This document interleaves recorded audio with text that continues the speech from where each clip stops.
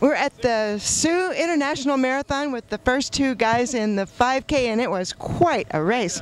And over on the right is the winner. What's your name? Terry Myers Where are you from? from here in the Sault. Okay, and what's your name? Hans Den. I'm And- from Midland. From Midland. Yep. Okay, you came up a ways. So, tell us about your race today.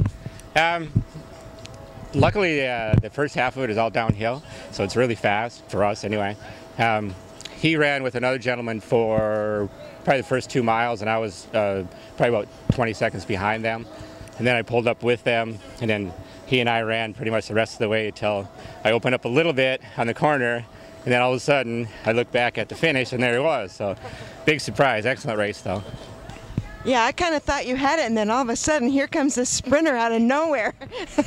tell us about how you almost caught him. Uh, well, I saw him. I thought I had a chance. Then I sprinted all the way. And then, yeah, I didn't get there. But next time. Next time. Well, it was fun watching both of you. Congratulations. Thank you. Great. Thank you. Thanks.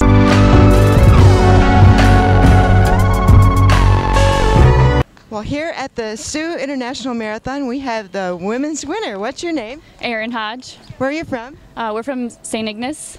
St. Ignace. So tell us about your race today. Um, basically, I just kept after one girl, and then right at the end, I just flew past.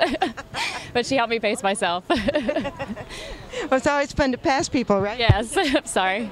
Yeah, it was a good race. It was a good route too. We had, we've never done this before. Um, this was our first year, so it was a very good race. So, what did you notice about the, the race course? Uh, it was well marked. We were worried about that. Um, the cheers the whole way. I mean, people, strangers we don't know. You know, that was really great. It, it was sweet.